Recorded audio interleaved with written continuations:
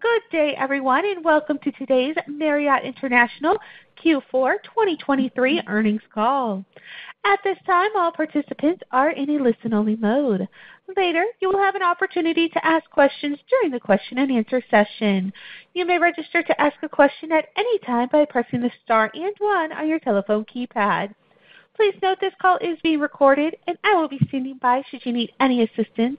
It is now my pleasure to turn today's program over to Jackie McConagha. Thank you. Good morning, everyone, and welcome to Marriott's fourth quarter 2023 earnings call. On the call with me today are Tony Capuano, our President and Chief Executive Officer, Leeny Oberg, our Chief Financial Officer and Executive Vice President, Development, and Betsy Dahm, our Vice President of Investor Relations. Before we begin, I would like to remind everyone that many of our comments today are not historical facts and are considered forward-looking statements under federal securities laws. These statements are subject to numerous risks and uncertainties, as described in our SEC filings, which could cause future results to differ materially from those expressed in or implied by our comments. Please note that our discussion of revenues across different customer segments refer to property-level revenues, and unless otherwise stated, our RevPAR, occupancy, ADR, and property-level revenue comments reflect system-wide constant currency results for comparable hotels. Statements in our comments in the press release we issued earlier today are effective only today and will not be updated as actual events unfold. You can find our earnings release and reconciliations of all non-GAAP financial measures referred to in our remarks today on our investor relations website. And now I will turn the call over to Tony. Thank you, Jackie, and good morning, everyone. Our team produced fantastic results in 2023. We continue to experience strong momentum in our business around the world, thanks to solid demand for travel and our diverse portfolio of 30+ leading brands. Full-year global RevPAR rose nearly 15%, and net rooms grew 4.7%, leading to excellent earnings and cash flow growth. In the fourth quarter, global RevPAR increased over 7% year-over-year, driven by roughly equal gains in ADR and occupancy. Group, which comprised 23% of room nights, was again the standout customer segment. Compared to the year-ago quarter, group revenues rose 9% globally and 7% in the U.S. and Canada. And group is shaping up to have another solid year in 2024. At the end of last year, full-year 2024 group revenues were pacing up nearly 13% globally and 11% in the U.S. and Canada on a year-over-year basis, driven by robust increases in both room nights and ADR. Leisure transient accounted for 44% of global room nights in the quarter. This segment has by far grown the fastest coming out of COVID, with global leisure transient revenues in the fourth quarter nearly 50% above the same quarter in 2019. Even with this strong growth, demand has remained resilient. Fourth quarter global room nights rose 5% over the year-ago quarter, leading to a 6% leisure transient revenue growth worldwide. In the U.S. and Canada, leisure revenues were up 2%. Business transient contributed 33% of global room nights in the fourth quarter. Demand from small and medium-sized corporates remained robust, and while large corporates are still lagging, they continued to post volume increases. Solid gains in ADR drove business transient revenues up 7% globally and 3% in the U.S. and Canada. Our powerful Marriott Bonvoy loyalty program grew to over 196 million members at the end of the year. Member penetration of global room nights reached new highs in the fourth quarter at 69% in the U.S. and Canada and 62% globally. Our digital channels, and mobile in particular, remain key drivers of growth at a lower cost to our owners. Our Marriott Bonvoy app contributed 22% more room nights in 2023 than in the prior year. We are focused on improving the customer experience across all our digital and other booking channels through the multi-year technology transformation we have underway. Enhancing engagement with our members outside of hotel stays through our numerous successful Marriott Bonvoy collaborations, including our co-branded credit cards, also remains a priority. Our growing portfolio of 31 credit cards across 11 countries had record global card member acquisitions last year, and card spend for the year grew 11%. On the development front, despite a challenging financing environment in the U.S. and Europe, we signed a record 891 organic management, franchise, and license agreements in 2023, representing approximately 164,000 rooms.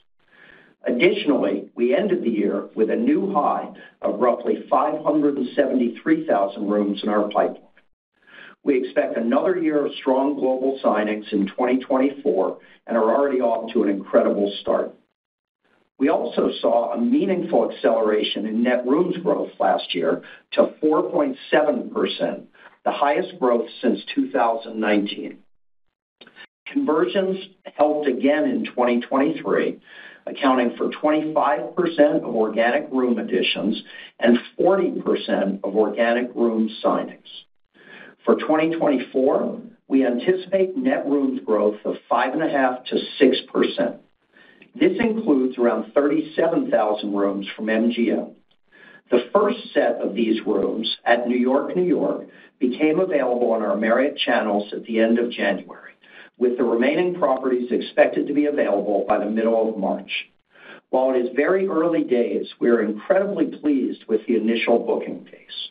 We're excited about adding these amazing properties to our portfolio and enhancing our distribution in Las Vegas and other cities across the U.S. We remain confident in the three-year net rooms compound annual growth rate we discussed at our investor meeting in September of 5%-5.5% from year-end 2022 to year-end 2025.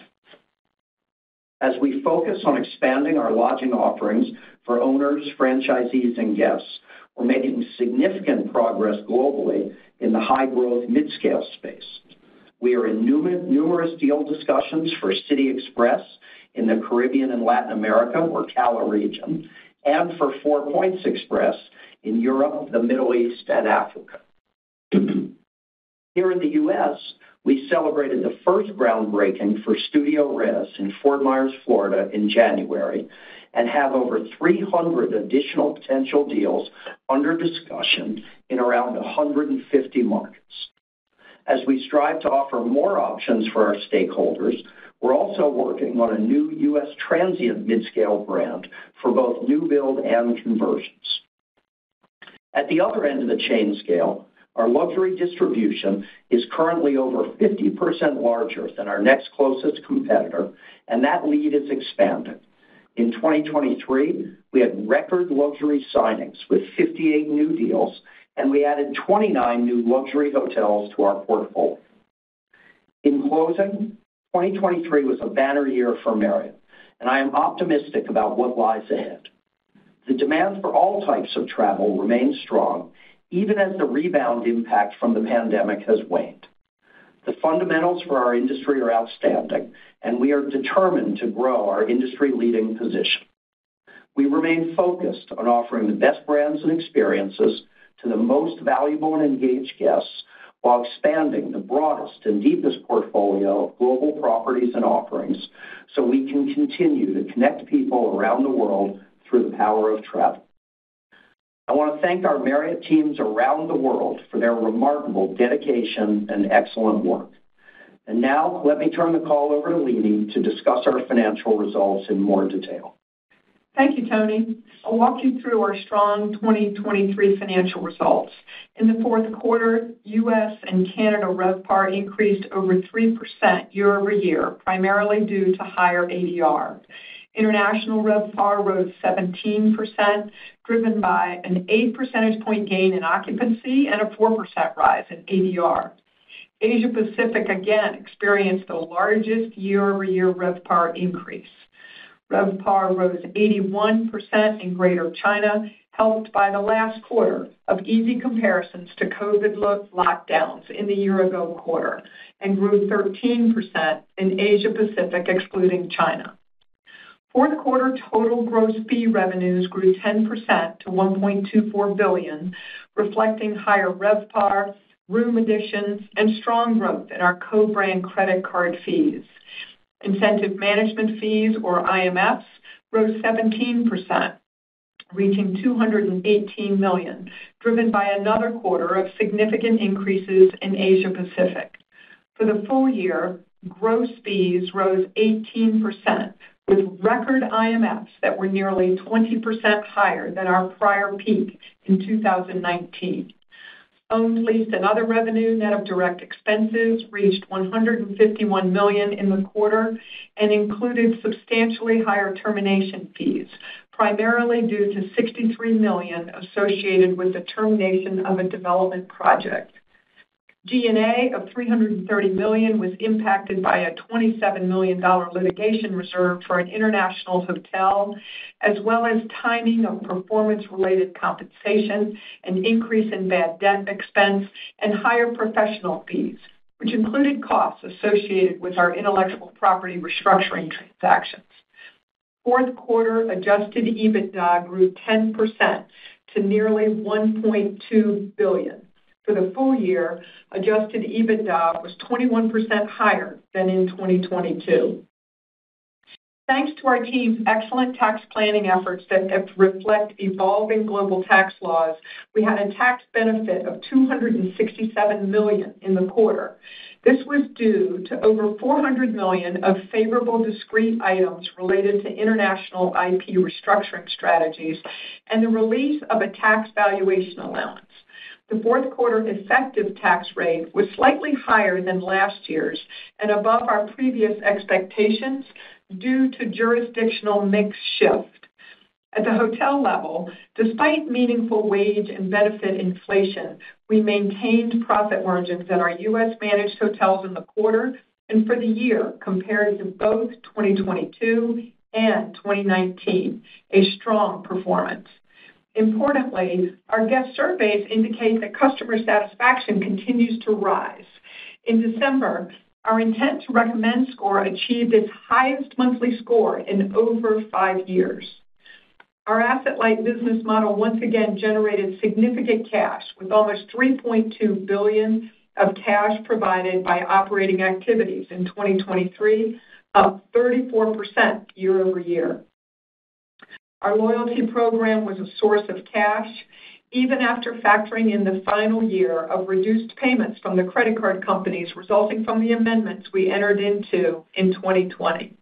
In 2024, we expect loyalty cash flow to be roughly neutral. Now, let's talk more about 2024. Our full-year outlook assumes a steady, albeit slower-growing, global economy. It also reflects normalized lodging demand in most regions around the world, with Asia Pacific expected to see higher growth in other regions as it continues to have some benefit from COVID recovery, as well as additional international airlift. In 2024, RevPAR growth is expected to be driven by another meaningful increase in group revenue, continued improvement in business transient demand, which will be helped by mid-single-digit special corporate rate increases, and slower but still growing leisure revenues. We're off to a strong start, with January RevPAR up 7% globally, reflecting continued strong demand around the world, particularly in international markets. International RevPAR rose 14%, and U.S. and Canada RevPAR increased 4% in the month.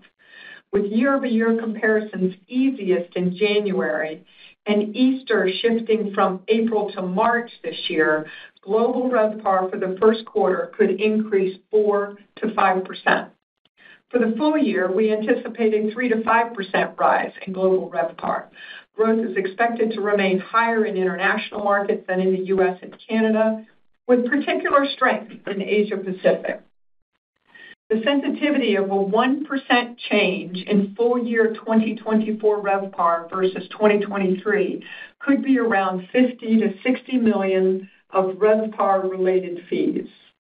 For the full year, gross fees could rise 6%-8% to $5.1 billion-$5.2 billion, with non-RevPAR-related fees rising 9%-10%, driven by strong credit card and residential branding fee growth.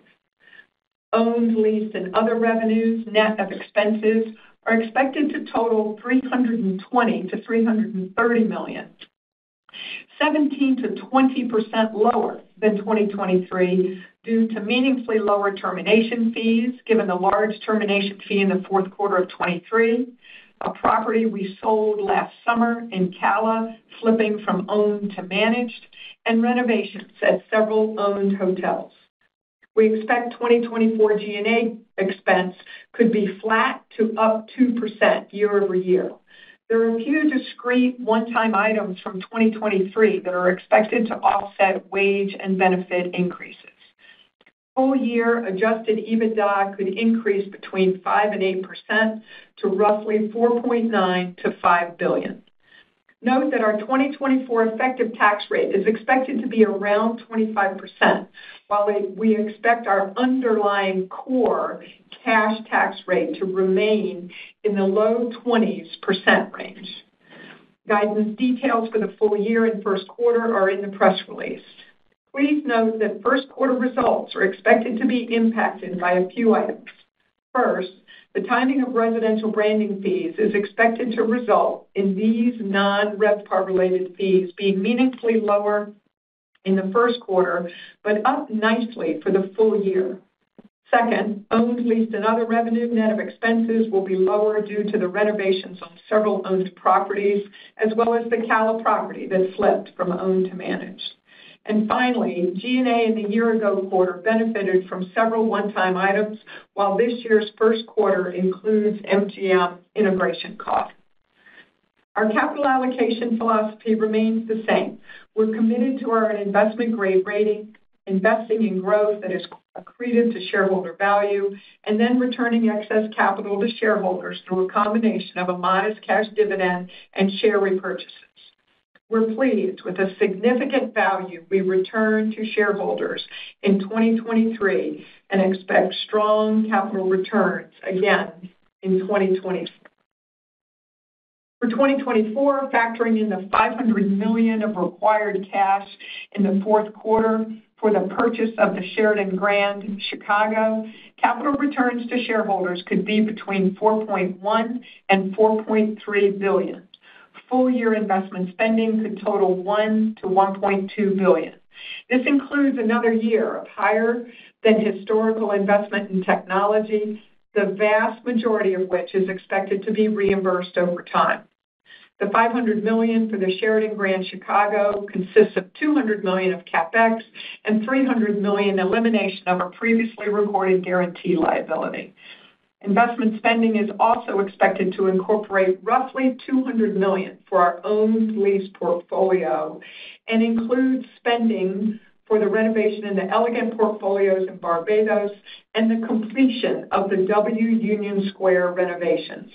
We'll look to recycle these assets and sign long-term management contracts after renovations are complete. As Tony mentioned, we're also thrilled about our development growth prospects, both inside and outside the U.S. We continue to gain market share with 7% of open rooms and 18% of rooms under construction globally at the end of last year. Tony and I are now happy to take your questions. Operator? Thank you. At this time, if you would like to ask a question, please press the star and one on your telephone keypad. You may remove yourself from the queue by pressing star two. Once again, that is star and one if you would like to ask a question. And we'll take our first question from Joe Greff with JPMorgan. Your line is now open. Uh, good morning, guys. Morning. Thank you for the questions. Uh, Leeny, I was hoping you can review uh, the MGM uh, transaction and what's included in fee contribution for this year. And then if you could maybe clarify what the integration cost that you referred to in your prepared comments related to the MGM license deal.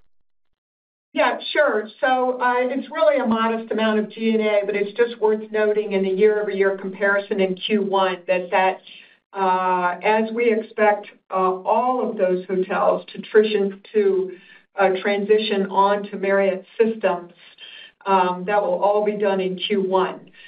When we think about the fee contribution, as we've talked about before, Joe, they will be coming on in Q1, and we expect that business to ramp up over the year. There's not a particular number um, that I would give you now, but just a reflection that it is Uh, related to a percentage of the hotel revenues uh, that fits into our franchise fee model as a result of the license agreement over the year. Great. And then I know you gave us some detail in terms of investment spend uh, this year, and the Sheraton Chicago is a big chunk of that. Is the 500 million all cash out the door? I know there's the $200 million in CapEx and $300 million Uh, to, uh, I guess, satisfy the getting out of that guarantee. Can you provide a little bit more clarity on that? And then- Sure. Sure. So, yes, How much of the $1 billion is sort of aspirational and not spoken for at this point? Yeah. No, no, no, it's a good, it's a good clarification question, Joe. That 500 million is cash out the door, and we would expect that to occur in Q4 of 2024.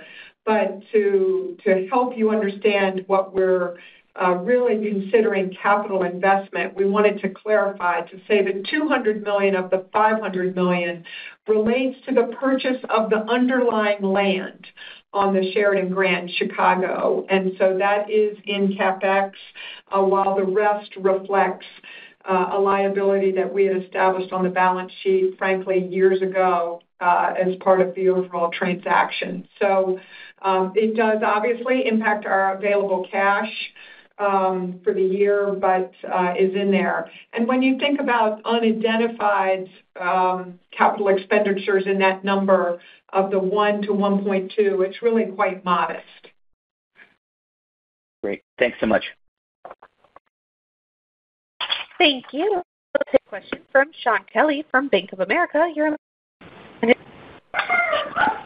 Hi, good morning, everyone. Um, Tony, Leeny- Just wondering uh, if you could just start with, um, you know, maybe kind of current state of the development environment. Um, Tony, you know, obviously, uh, global interest rates have cooperated a little bit for, you know, the hope of developers and just sort of what you're probably the same thing on the construction cost landscape. So as we sit here today, I know it's only, you know, four months or so from your big update at the Analyst Day, but could you just give us, you know, latest sense of the land, how some of those conversations went at ALIS, and what people should expect uh, on the organic side um, for signings, and more importantly, probably starting to move into construction? Of course. So as we mentioned in the uh, prepared remarks, on the heels of a record signings year, uh, it's more anecdotal than anything else, but in terms of deal volume through the first month of the year, it's really encouraging. And we're seeing strong momentum, both on submissions for new build projects around the world, as well as continued, really encouraging momentum uh, on the conversion side. Uh, in terms of the environment coming out of ALIS, Uh, I'm gonna ramble here a little bit because I think there are both some positives and negatives that we heard from the owner and franchisee community about their expectations for 2024.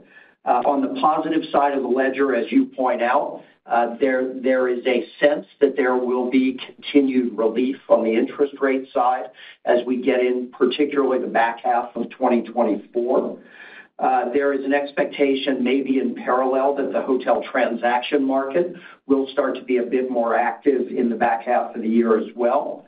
And while there is still admittedly some gap in the bid and the ask between sellers and buyers, it feels like that gap is continuing to narrow, which will likely lead, we expect, to a little more active transaction environment, which has always historically been uh, good news for us on the conversion front. Uh, when you pivot to the more challenging side of the ledger, Uh, you do still have lenders uh, thinking about uh, compliance with proposed regulatory environment that will perhaps impact their ability to really open the faucet in terms of the amount of debt that they debt financing that they make available for new construction. But there again, it's one of the reasons we're so enthusiastic about our entry into mid-scale. Uh, when we talk to our franchise partners on the mid-scale front, they feel like the size of those commitments uh, is something that they're gonna have uh, a decent measure of success in procuring debt. And then the last thing I would remind you is the obvious, that while we stay very focused on the availability of debt and its impact on our growth uh, trajectory, that is largely a U.S., Canada, and Western Europe uh, uh, attribute. When you look at the pace of growth we're seeing across Asia Pacific, across the Middle East, that growth does not seem to be particularly impacted by the ups and downs of the availability of debt. Uh, I think you also had a question about construction costs, and so maybe I'll expand my answer a little bit. When we think about potential impediments to growth, uh, the availability of debt is the one that I think we're most focused on. Uh, supply chain issues, which we were talking with you about a year ago, are not nearly as severe as we saw several quarters ago. Uh, construction costs have come down a little bit, uh, and they're rising year-over-year at lower rates than we saw a year or two ago. Uh, so on that front, I think we're pretty encouraged, but it's really the ability to source debt for new construction is the area that Leeny and the team are most focused on. Thank you very much. Thank you. We'll take our next question from Smedes Rose with Citi. Your line is now open. Hi, thank you.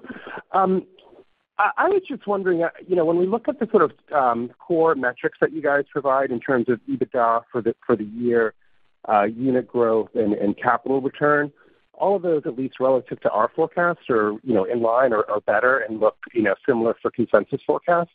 But your operating EPS outlook is quite a bit lower than consensus, and I was just wondering if there's any one or two things um, that you might point to where you think maybe there was a difference in sort of expectations versus what you expect to put up? Because it doesn't sound like it's like a tax rate issue. I was just wondering if maybe there's something else there.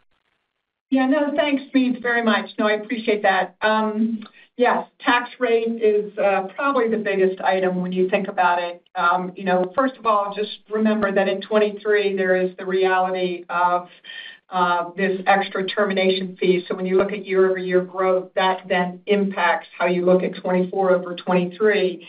And so if you, if you adjust out for the oddballs of um, both the litigation reserve and the performance, the termination fee, and you take into consideration that we've got probably about a 1 point higher book tax rate, and I do emphasize it's a book tax rate rather than cash.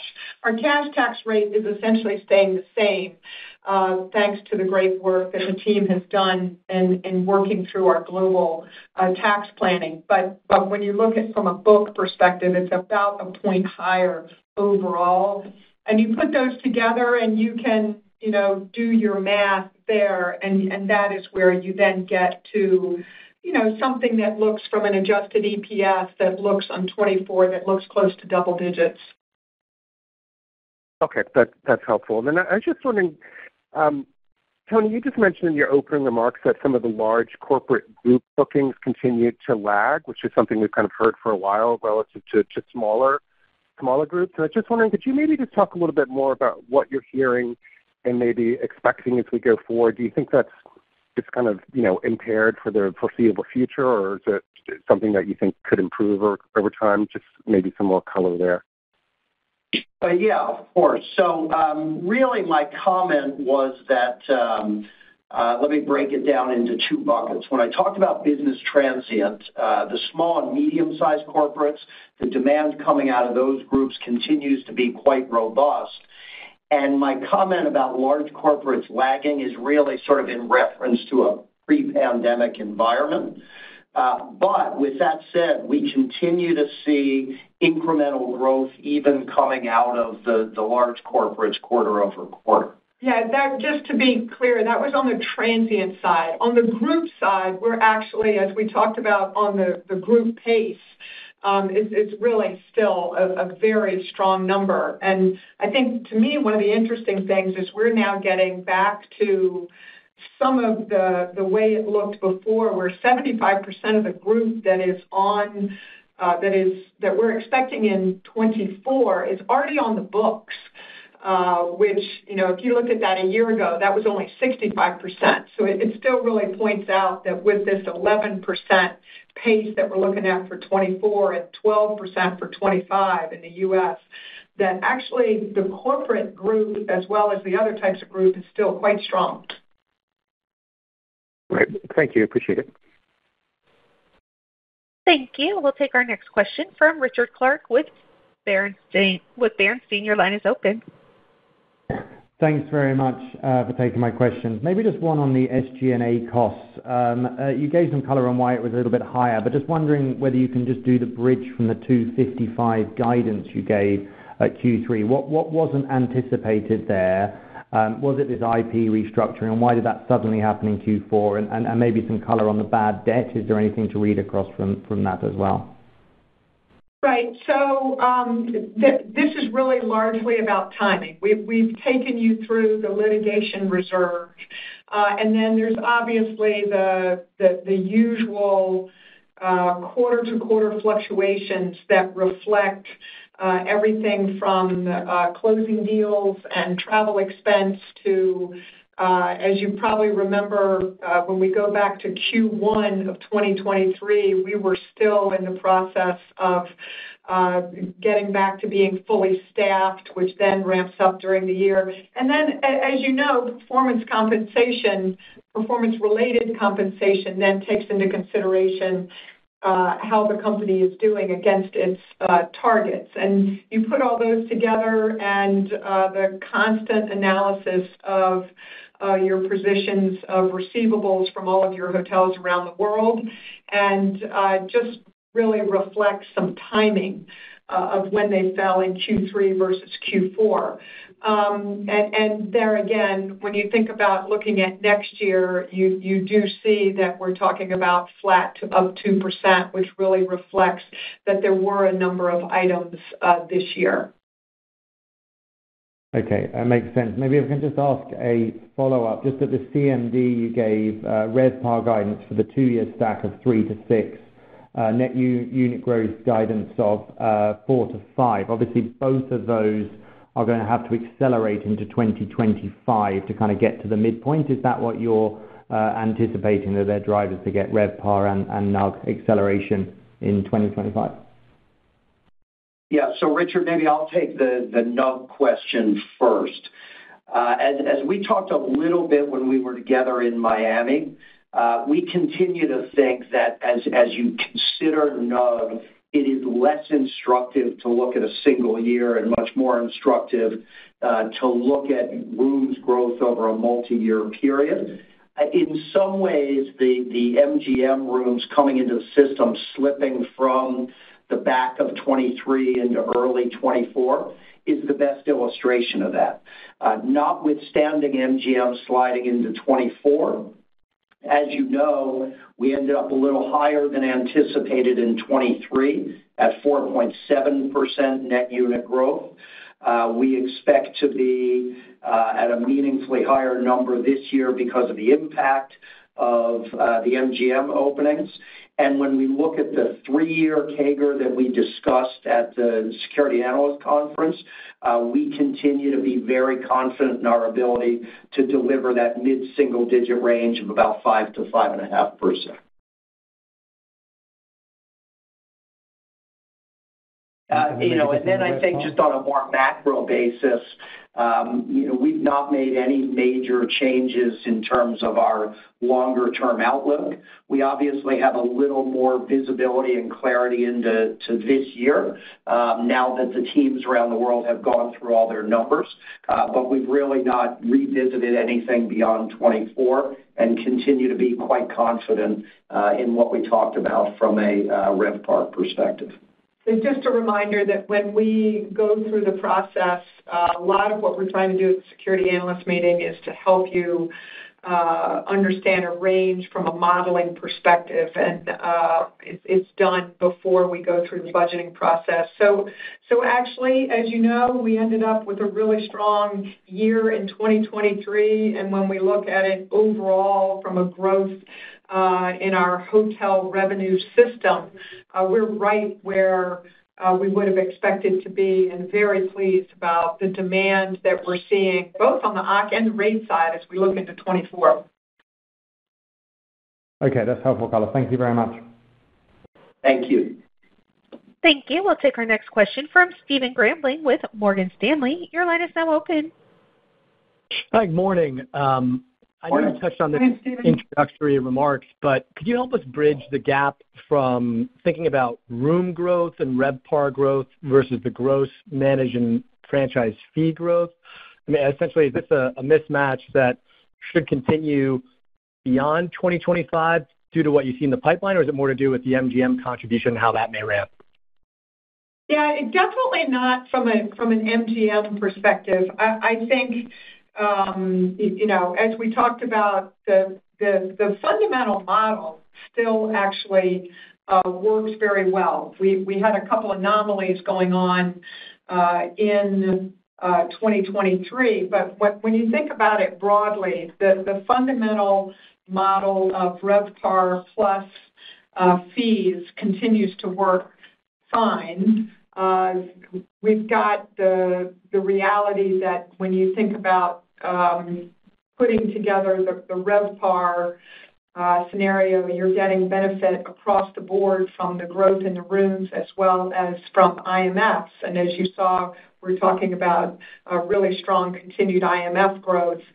And then, of course, the reflection that our non-RevPAR fees are expected to grow 9%-10% in um in 2024. So I don't expect the fundamental um, kind of growth in fee algorithm to be uh, different than we've talked about before.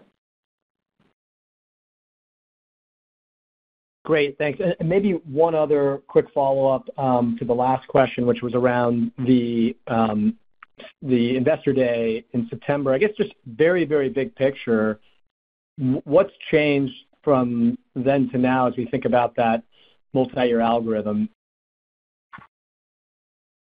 I would say very little in terms of, um, you know, the basic equation. I mean, frankly, 2023 ended up being very strong. Uh, and if you think about the guidance that we gave, we ended up uh, higher than the high end of what we gave the securities analyst meeting by $6 million. So, uh, you you are starting off with a higher base. And then again, we're looking, you know, a lot of the numbers that we talked about at the securities analyst meeting were over a three-year time timeframe, and now we're being able to give you more specificity about 2024. Um, but the fundamental about uh, RevPAR growth plus net rooms growth, some operating leverage, um, uh, continues to work. You know, one thing I do think is interesting when you look back at G&A as a percentage of fees, which being a fee-driven business, um, that is, uh, I think, the best relationship given the fluctuations in owned leased as we sell hotels. Uh, and that is, you look at 2019, we were at G&A as a percentage of gross fees around close to 25%, and the numbers that we've given you today show that number having dropped down to under 20%, uh, which I think does show you the continued operating leverage that we're getting out of the model. And I might just build on that a little bit, and, uh, as for those of you that have been covering us for a long time, You know there's a phrase that guides almost everything we do, that phrase being, "Success is never final." And while we are very encouraged by the uh, continued improvement in the G&A ratio, you can rest assured that is a principal focus area for the senior leadership team, uh, with an eye towards continuing to improve that efficiency. Great. Thanks so much. Sure. Thank you. We'll take our next question from Chad Beynon with Macquarie. Your line is open. Morning. Thanks for taking my question. Wanted to ask a question related to the uh, the RevPAR guidance, I guess, kind of looking at the chain scales. Um, so based on how you report, I guess, premium, you know, which some of us would consider upper upscale, continues to be the strongest in the third or in the fourth quarter, and that's kind of what we're seeing, you know, year to date. Um, as you think about, I guess, luxury and upper upscale versus some of the other segments, um, do you have a view in terms of what will kind of lead 2024? And is there still a lot of room for uh, ADR increases in upper upscale, given what you're seeing with group pacing? Thank you. Sure. So let me comment on a couple things. First of all, uh, when we think about special corporate rates, you've heard us talk about kind of continued uh, building of that demand. And while it's not back to 2019 levels, it is continuing to, at the margin, grow a little bit faster. And, uh, you know, we had high single-digit growth rate in that segment in 2023, and we're looking at strong mid-single-digit rate growth in that segment in 2024. So that is absolutely, uh, as you look at that, plus the group strength, which, uh, when I think about the group pace of that 11%, I would say between Um, rate and rooms and ADR, that is probably 2/3, 1/3, um, rooms and ADR. So you're still seeing some very nice growth there. Um, so clearly, the premium segment is, uh, I think, gonna be the biggest beneficiary of that increase in demand. Uh, on the select service side, you saw that segment really come out of COVID the fastest, Uh, and one that has moderated, as, you know, as you've seen towards the end of this year. Um, we would expect that to be steady Eddie, but uh, not really get the benefit of some of the things that I just mentioned. And then we continue to expect to see luxury continue to do really well. Uh, and so there is opportunity there, both on the rate and OCC side. But I think the two areas I mentioned before are probably the Um, ones to highlight as you think about the tiers. And I might build on that, that last luxury comment from Leeny. You heard in my opening remarks about the momentum we have in extending our lead in luxury from a footprint perspective. In fourth quarter 2023 versus fourth quarter 2022 on a global basis, we saw luxury RevPAR up 10%. And so we continue to see uh, pretty compelling economics in the luxury segment and um, are excited about the growth we're seeing in terms of our industry-leading footprint. Thank you. Appreciate it. And then just a housekeeping, um, IMFs at the end of the year, um, North American properties, Uh, what percentage were uh, were payers uh, during the year, maybe versus versus peak? Yeah, sure. Um, this is where it gets a little a little complicated, but but let's do it. And that is in 2023, um, for the full year. Would you like quarter or year? Which do you prefer? Let's do the year. Year, probably. Year, yeah, year, unless the exit rate is massively different. Yeah. So 31% for the full year in U.S. and Canada versus 56%. However, there's really, as you remember, there was a big change in our limited service portfolio as a result of the HPT hotels leaving the system. So full-service hotels in 2023, 40% of our managed full-service hotels were earning IMFs in the U.S., 45% at peak. Really, limited service is the big change of 19% in 2023 versus 66% in 2019, but many of those hotels are no longer in our system.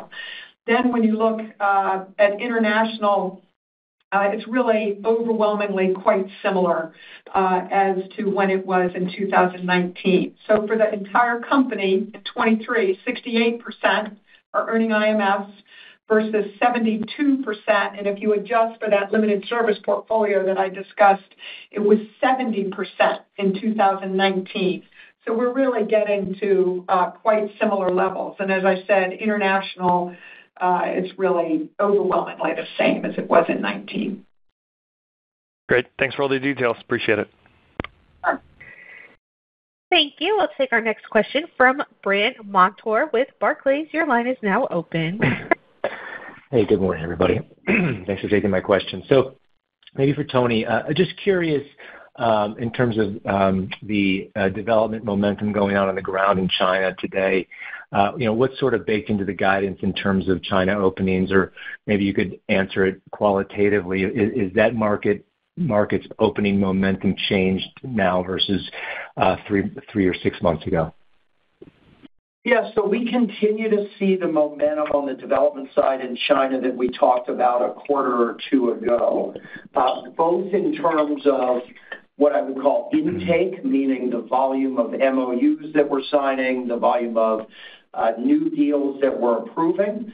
But just as compelling in terms of driving opening volume, during the pandemic, we saw a variety of projects across the pipeline pause construction, and we're seeing the vast majority of those paused projects back under construction moving towards opening.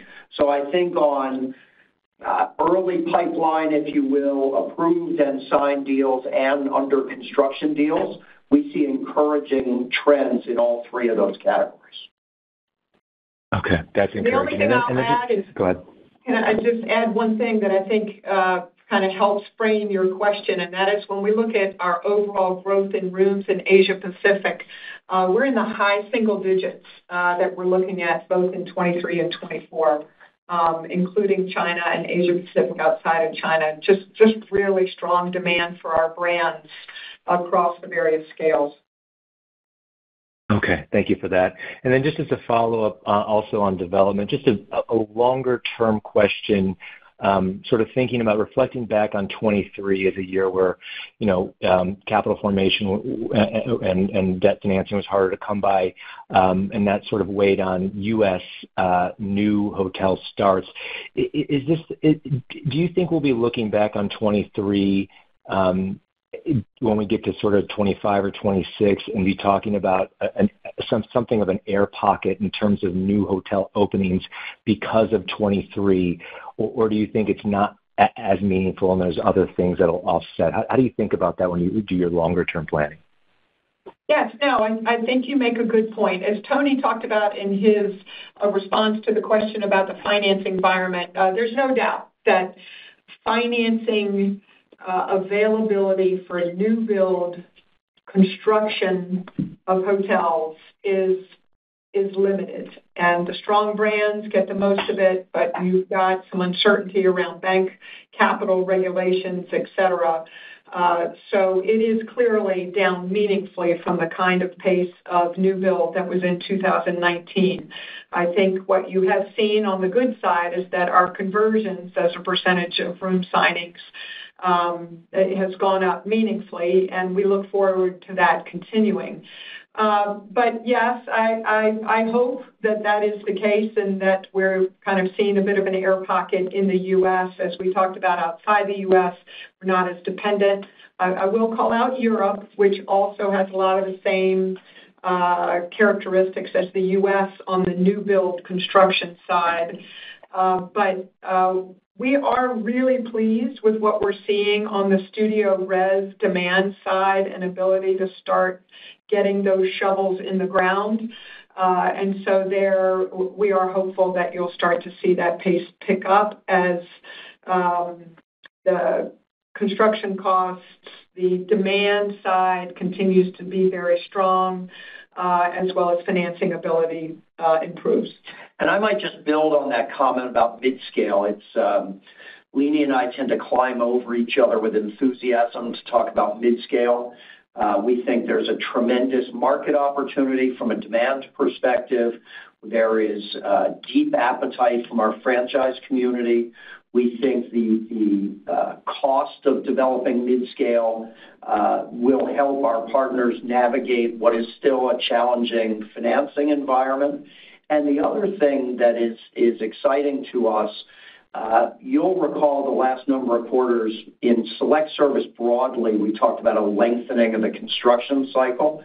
Leeny and I were both down in Fort Myers, putting a shovel in the ground for the first StudioRes. Our partners there talked about an expectation of opening that hotel in, at most, 13 months, with an eye towards trying to get it open in 12 months. And so the ability to get mid-scale deals signed, shovels uh, financed, shovels in the ground, and open more quickly than what we've seen with a lot of other uh, tiers in our portfolio uh, is another factor uh, in our enthusiasm for our entry into mid-scale. Thanks, everyone. Thanks.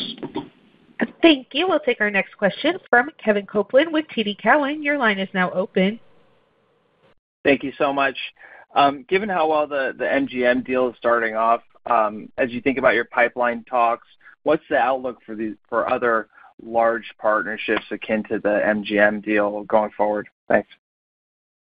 Yeah. So uh, Leeny and I were both in Las Vegas uh, this past weekend for Super Bowl, And so I'll make a couple of comments. Number one, when you look at the vibrancy of that market, you look at how uh, effectively the city was able to accommodate an event like that. You likely heard the NFL commissioner talking about how anxious the league is to get back to Las Vegas. Uh, I think both of us left the market really enthusiastic about what this partnership is gonna offer our guests around the world and our Bonvoy members.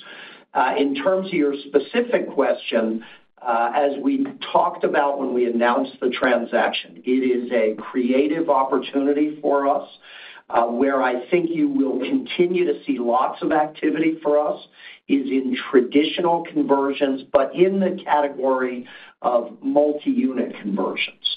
You heard us a quarter ago talk about a terrific multi-unit conversion in Vietnam with a partner called Vinpearl, and our teams around the world are actively working on a number of uh, multi-unit conversions. To the extent a unique opportunity like MGM presents itself, I think we'll roll up our sleeves and see if we can make sense of it. Uh, we're really excited about what MGM does for Bonvoy, and if those sorts of opportunities present themselves, we are certainly open uh, to pursuing them. Great. Very helpful. Thanks, Tony. Sure. Thank you. We'll take our next question from Michael Bellisario with Baird. Your line is open. Thanks. Good morning, everyone. Morning. Morning. Just um, on the capital allocation front, um, been a handful of reports. There's just a few smaller brands for sale, particularly domestically.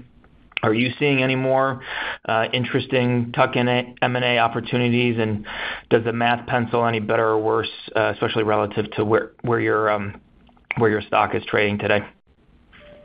Um, well, so great question. And uh, as we have said for uh, a long time, we've been very consistent in our message about um, really always being willing to entertain the way that we grow.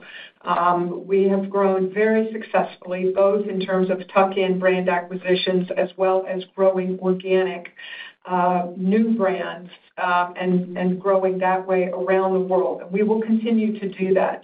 Um, we also are gonna stay very price disciplined in terms of looking at both uh, uh, the price that you would be paying for the existing distribution as well as for the growth opportunities.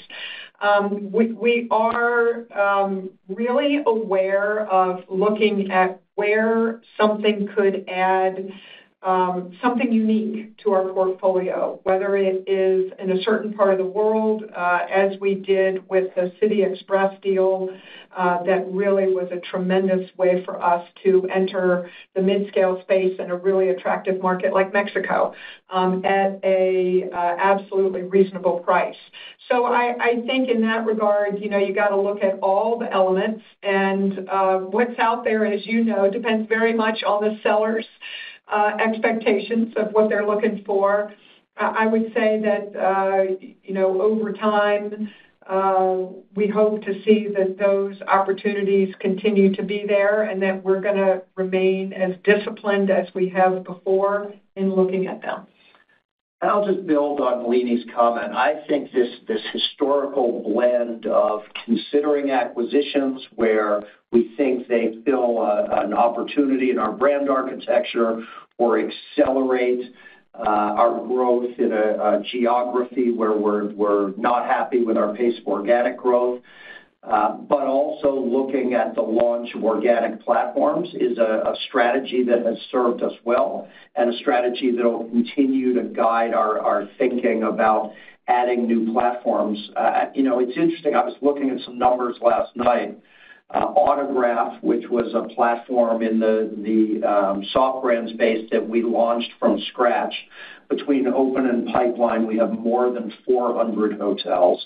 And AC by Marriott, which was a platform that we acquired in Spain that at time of acquisition, I think, had 80 or 90 hotels, today, between open and pipeline, has nearly 400 hotels. And so there are a variety of strategies to add compelling platforms to the portfolio, and we'll continue to look at both.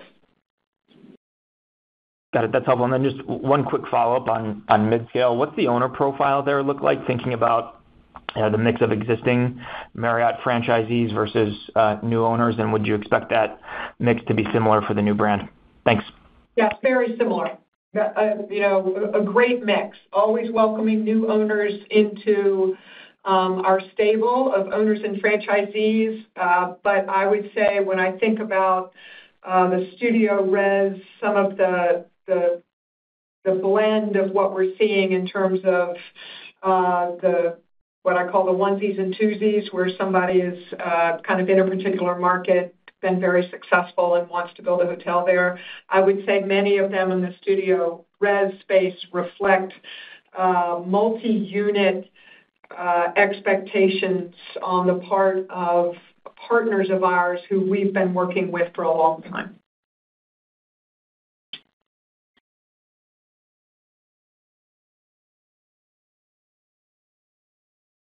Thank you. Next question. We'll take our next question from David Katz with Jefferies. Your line is now open.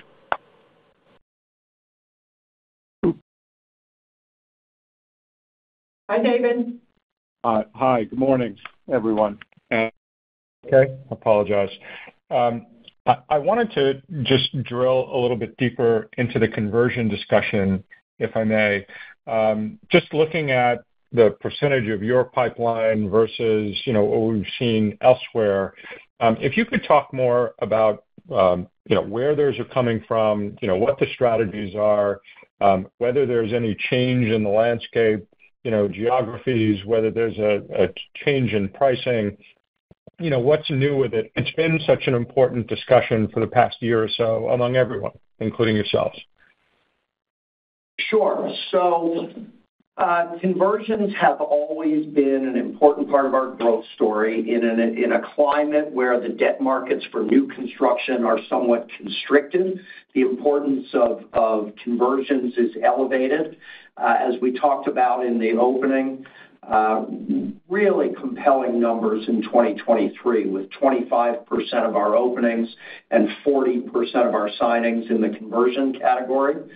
Uh, they are coming in terms of type of project, pretty typical of what we've seen over the last number of years, a good mixture of conversions from other brands and with such a compelling stack of soft brands with Luxury Collection, Autograph, and Tribute, uh, lots of conversions coming from the world of independents as well. From a geographical perspective, Uh, not necessarily a shift in strategy, but we are seeing in, for instance, some of the Asia-Pacific markets, which historically had been disproportionately new build, we are seeing some uptick in conversion activity. Uh, our pursuit of conversion opportunities is quite deliberate, and it's resulting in deals like the one I mentioned earlier in Vietnam. We will take our next question from Patrick Scholes with Truist Securities. Your line is now open. Hey, good morning, everyone. Um, morning. Morning. Good morning. I wanted to drill down a little bit on the credit card fees.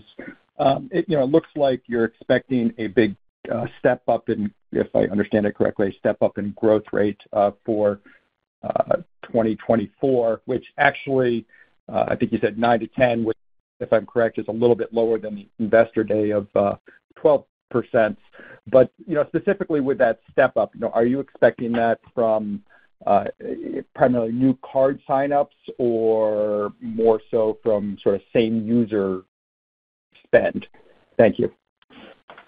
Right. Sure. So first of all, I want to uh, kind of um, be clear. The difference between the growth rates between Uh, 2023 and 2024, I would not expect to be very different across the credit cards. Um, they grew 9%-10% in 2023, and we would expect them to do fairly similarly in 2024. Uh, that is overwhelmingly a function of uh, increase in the number of cardholders. As you've heard us talk about, we've been really successful in adding credit cards in a number of countries. We've really Uh, expanded that program quite a bit. And in some of the markets, I'll point out Japan as an example, we've just seen uh, really wonderful acceptance of um, the Bonvoy credit card. So uh, in that respect, I'd say the growth that we would expect in those fees comes overwhelmingly from additional having additional cardholders. And then overall, a really um, very small amount related to a typical cardholder spend. Now, when I look at overall non-RevPAR fees, I think that's where uh, it gets a little bit interesting because you are dealing with things like residential, uh, where you see residential branding fees tied to when uh, those units Uh, open for occupancy. So they're quite lumpy. So as I explained in Q1, we expect them to be meaningfully lower in Q1 than Q1 in 2023, while for the full year, we actually are seeing that business do very well. And we expect year-over-year to see um, fantastic growth in branding fees overall for the year in 2024 over 2023. So when you look overall at the non-RevPAR fees, we're excited to see them uh, continue to grow at these you know, roughly double-digit uh, sorts of numbers uh, for another year. And we will take our next question from Robin Farley with UBS. Your line is now open. Great. Um, thanks for taking the question. Um, circling back to um, to the unit growth, and I know you've given a lot of great color around it.